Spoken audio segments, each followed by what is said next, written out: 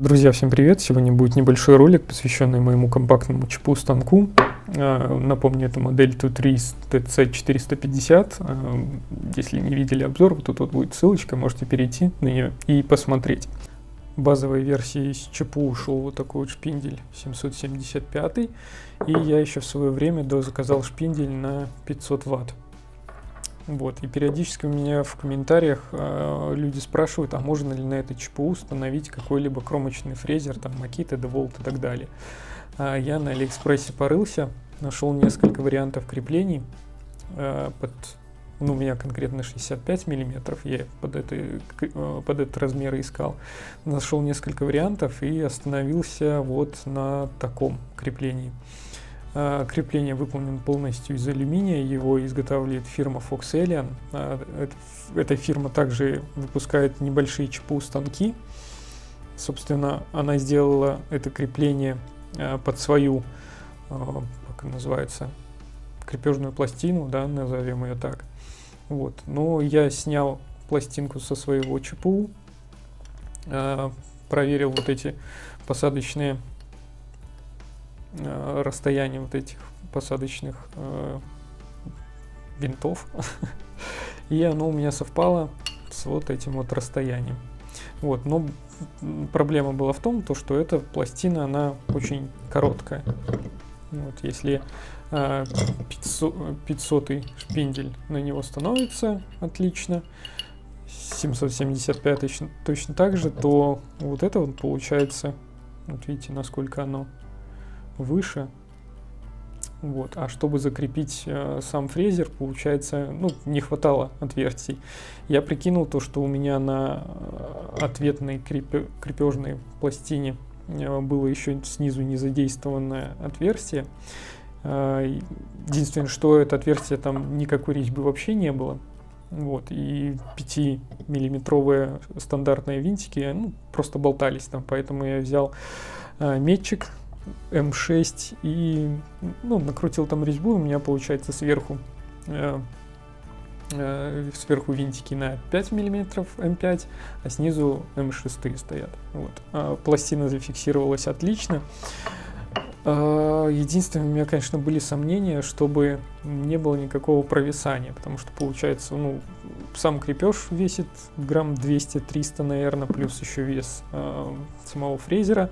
Вот, и я боялся, что по оси Z у меня может быть какой-либо э, начаться завал.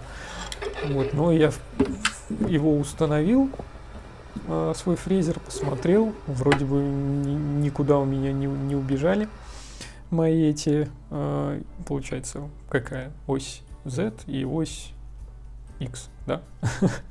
По-моему, они у меня никуда не убежали. Вот. А, использую я свой кромочный фрезер Минли. Это такая китайская копия, сделан под Макиту. Вот. А, если не видели обзорчик, можете вот посмотреть. Тут сверху будет ссылочка на него. Вот. А, получается 65 миллиметров. Отлично сюда входит. Фиксируется тоже отлично. А, получается, у этой модельки 65 миллиметров, но также у продавца еще есть и на 69 миллиметров. Это, скорее всего, под деволтовские, наверное, фрезеры. Также у Foxelian насмотрел себе э, башмак для пылеудаления, потому что у меня пока что еще нету никакой насадки. На этот я делал, а на этот еще не сделал. Вот. И у Foxelian мне она чем понравилась, то что она, получается, универсальная штука. Они сделали крепление под 69, 65 и 52, ну, под диаметр 52 миллиметра. То есть под любой из моих этих моторчиков она подойдет. Наверное, чуть позже я его еще дозакажу и также вам сделаю небольшой обзорчик. Вот. А крепежные эти пластины я сделал из фанерки. Вот у меня их две штуки. Вот эту я вырезал на лазере, а вот эту я вырезал на ЧПУ фрезере, фрезерном ЧПУ. Ну, просто мне захотелось посмотреть, э, какой из вариантов будет быстрее, точнее и проще изготовить. Наверное, все-таки было проще с лазером, потому что ты просто их вырезал, потом их склеил. Тут у меня три слоя. И покрасил все. Здесь же пришлось ее вырезать, потом зачистить края от этих вот э, вставочек, чтобы э, при, фрези... при фрезеровании эта деталь не выскочила. И потом надо было еще и профрезеровать вот эту вот э, канавку. Вот. Ну, в целом, по точности они практически один в один. Вот. Ну, наверное, на, на лазере все-таки вот именно этот вариант оказался попроще.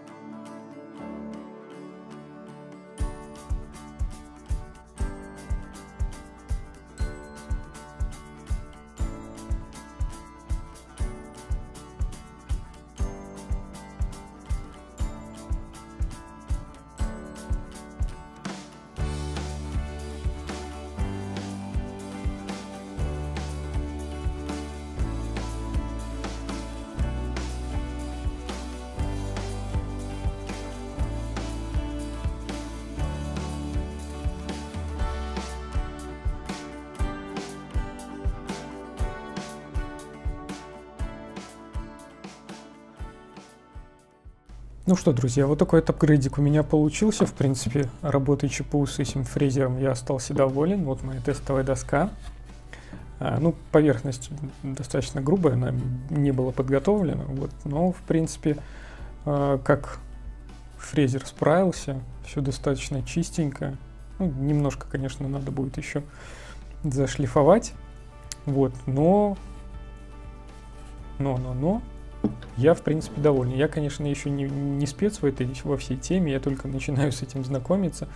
На мой не предвзятый, неискушенный взгляд и вкус, по-моему, справился очень даже неплохо. Вот. А единственное, конечно, что вот эта вот зараза, она настолько пыльная. Вот если вот этот вот шпиндель маленький, а у него расположен кулер сверху, и вот он при своей работе он практически ну, 90% стружек, наверное, оставалось на поле. Эта же зараза раздувает все вокруг себя в радиусе полтора-два метра. Это просто там все в опилках, поэтому обязательно закажу себе это пылеудаление и надеюсь с ним э, станет все намного чище. Вот еще в планах сделать э, короб такой со звукоизоляцией уже заказал там э, вибро виброакустические, короче, эти маты.